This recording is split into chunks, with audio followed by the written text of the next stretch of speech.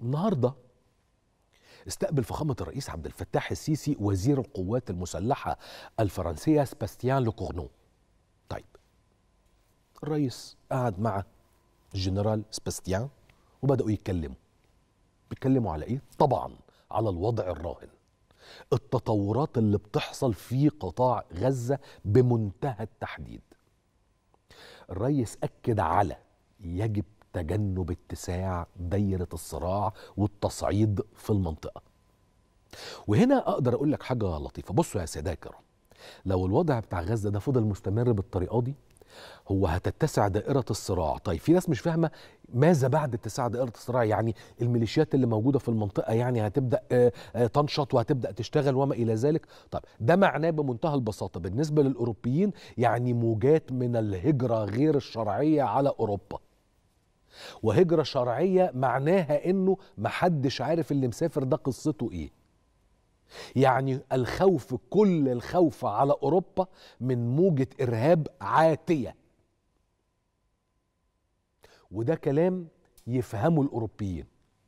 الأمريكان كما جرت العادة بيننا وبينكم كلكم محيط. مفيش حاجة اسمها هجرة شرعية من العالم القديم إلى العالم الجديد. مفيش. مين اللي هيعدي المحيط بمركبة ولا لانش بفلوكة يعني. لكن في المتوسط بحيرة.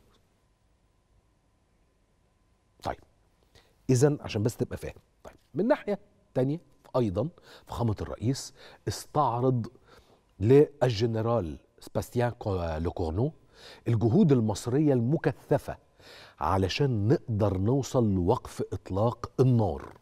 إدخال المساعدات الإنسانية التي لم تتوقف أو بالأدق لم ينغلق أمامها معبر رفح على الإطلاق. وزي ما بقولك ولا ساعة. بالإضافة لده استقبال المصابين من أهالينا الفلسطينيين.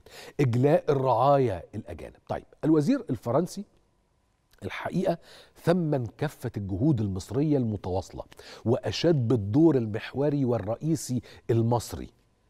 واللي هو شايف بمنطوقه وبمصطلحه إنه مصر تفعل ذلك للحفاظ على أمن واستقرار الإقليم. ده الدور المصري قدام العالم.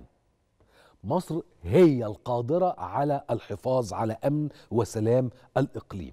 الأوروبيين بدأوا يستوعبوا بشكل أبعد وأسرع بكتير وأكثر عمقا من استيعاب الأمريكان.